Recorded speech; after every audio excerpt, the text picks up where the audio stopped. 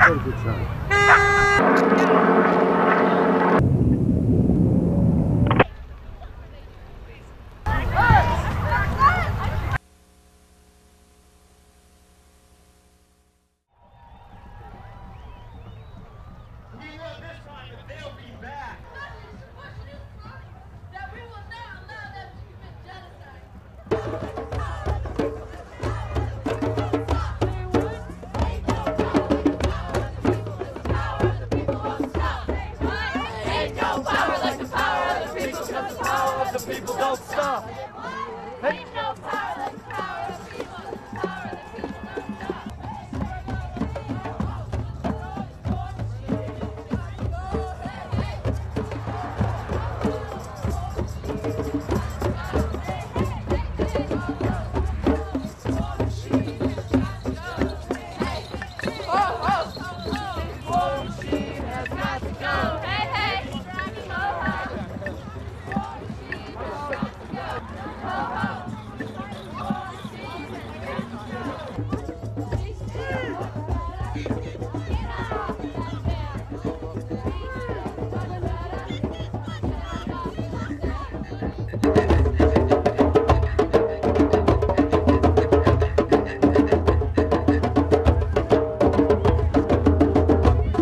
Yeah, I came here actually support everybody, support basically the, the 40 cities, over excuse me, over 400 cities today are actually protesting, demonstrating against what's happening in this unprecedented ever uh, action I'm going to take against a nation. And it's not a war, I call it, I call it a slaughter, unfortunately.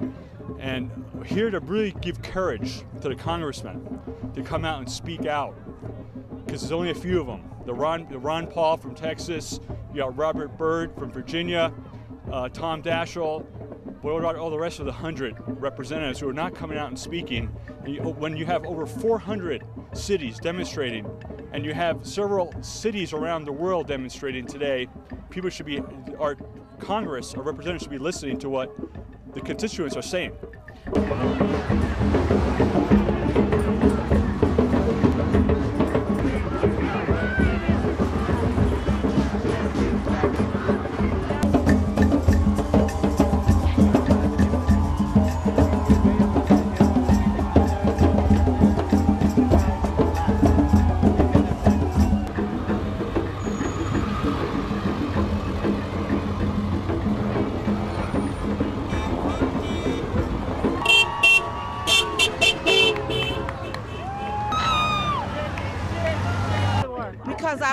All about oil. But that's not what the media says. That's the lie they want you to believe. But it seems like a lot of Americans are going for that lie. Why do you think Okay? Korea say they got weapons of mass destruction. Okay? And what it's about, something that Bush's father didn't finish. And Bush wants to finish it. So it doesn't have anything to do with weapons of mass destruction. No, it doesn't. And that's what they want us to believe.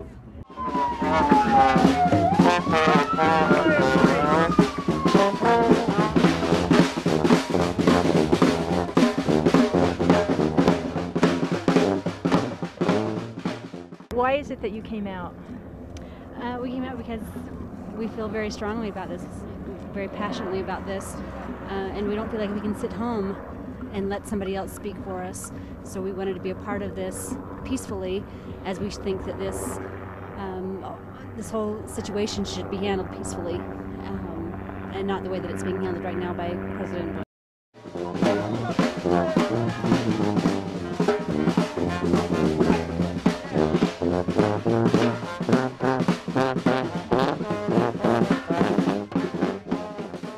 Um, I work as a physician in Salida, and the more I learn about this, the more I realize that it just violates everything I stand for. When I read about, when I read accounts from people that are on the ground in Iraq, people like Physicians Without Borders and Physicians for Social Responsibility, and the people from um, Voices in the Wilderness. I mean, this is a public health catastrophe that's only going to get worse. And you know, I, I have a hard time believing that that they have much of a military capability when we, we've flown over 100,000 military sorties in there and they've not shot down one airplane.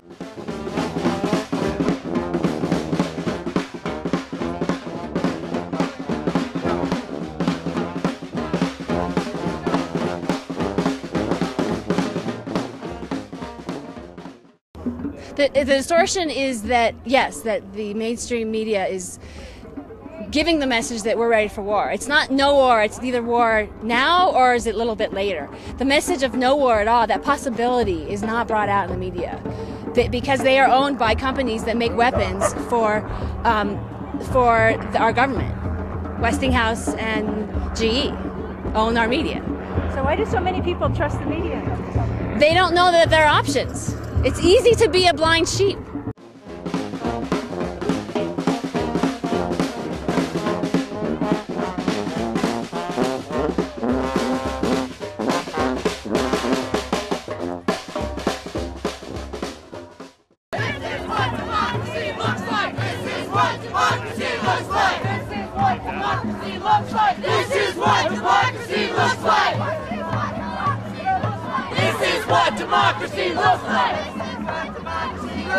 This is what democracy looks like. This is what democracy looks like. This is what democracy looks like. This is what democracy looks like.